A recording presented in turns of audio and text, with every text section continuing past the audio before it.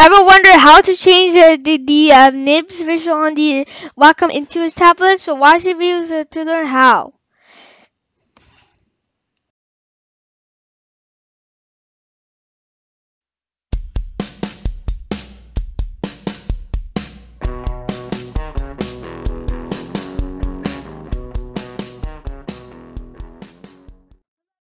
So the first thing is to actually uh, flip and so actually this is how the tablet looks like when connected. So for example, if you have a very worn down nib on your Wacom tablet, and so also you cannot exchange the Wacom tablet. The problem is that the whole tablet itself is like seventy dollars. It's very expensive.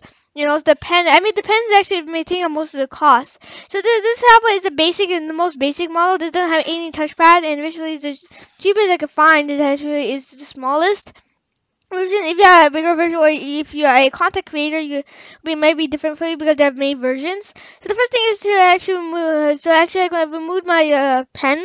So eventually, this is how it looks like. The, the nib there is a little bit worn out. You can see it. It's uh, all right, but but eventually it's very worn out eventually after a lot of usage. Uh, so I'm going to disconnect my Wacom tablet and after that I flip, uh, I will flip it and then after that so the first thing is to remove the bad middle cover that the other two covers are actually for different purposes. So actually there are made three nibs actually that are came with the Wacom tablet itself. So these nibs you can actually exchange with your pen. So instead of buying a new pen itself, so it will come with all the Wacom tablets and make multiple more nibs on uh, some other versions, like more professional models for different usages. So the first thing is to just take out the nib. So just take out the nib. It's actually going to take a few seconds to just take it out. Just um, so after taking out the nib, you can actually uh, remove the original nib on the Wacom pen itself. So just like, remove the nib so the nib has been removed. But the next thing is to remove the nib from default nib uh, to Wacom pen. Just make sure there's a hole there. Just keep pull, pulling on it. It will, it will, take a while to do it, but it's alright. Is going to take a few seconds. So if you keep pulling on the nib, it then will pull out, get it come out. Sometimes it will stay inside there. So now then you can put the nib, uh, I was just going to put back on the, do not get the card, but eventually if you do not get confused, sometimes you might want to keep it in a different location to not confuse this old nib. So eventually the next thing is to put in the, the nib on the pen, so I'm going to do that in a few seconds. So, uh, wait. Second, so actually, I'm going to after that I will exchange the nib. So I'm going to put the nib on the pen itself. So I actually just, it's like a press fit. So I'm going to just put it through the hole. Uh, hole and eventually there's a press fit. And be done. Uh, after that, we, you can start writing. Yeah, so after that, you can connect it. Now it's finally put in. You can put back the back cover, eventually the middle cover in the Wacom tablet. But eventually, you can start writing.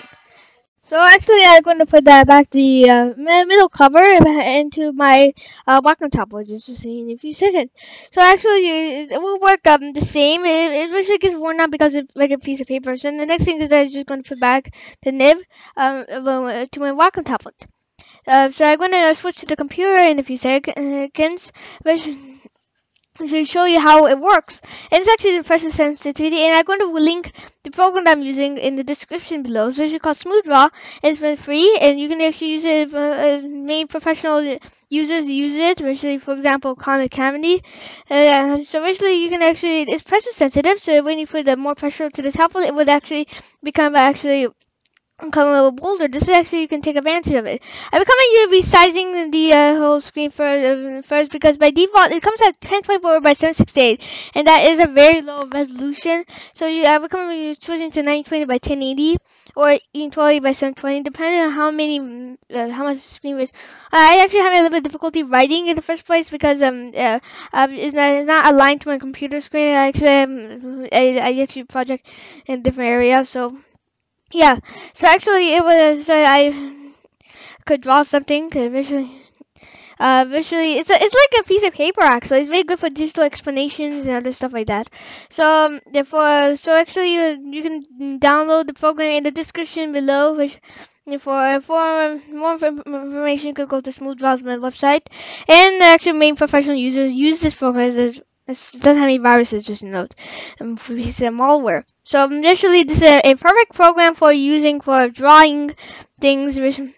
Like, but visually, also there are ways to not worn out the pen nib. Uh, you can actually uh, add more when you put light pressure. You can actually yeah, will be more bolder. But I recommend having light pressure, Sometimes when sketching. It will, you can actually add more pressure. Will not cause that many problems. So the so actually there's so many problems stuff like that. So so actually you like subscribe to my channel, like this video, and share this video with other friends on the internet. Uh, eventually, you watch, so watch my last video. So thanks for that lesson. So thank you for watching this lesson. Bye. So thank you for watching this lesson. Bye.